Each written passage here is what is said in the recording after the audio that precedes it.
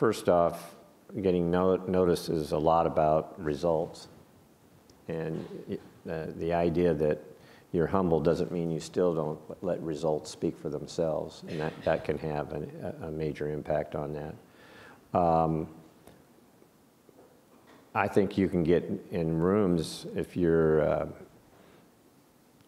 if you, a lo- well, let me put it this way. As you move up in a company, everybody knows who you are because of your position.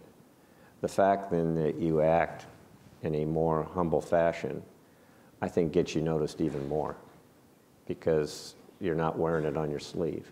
So I think, uh, you know, early on, that, that may not be the case, but as you move up, it becomes easier um, to have being humble actually help you be getting noticed by whether your employees or associates, peers, whatever the case may be.